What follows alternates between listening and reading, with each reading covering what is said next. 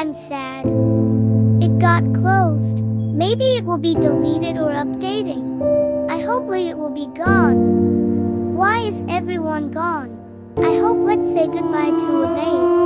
Goodbye. Like and subscribe if you love a.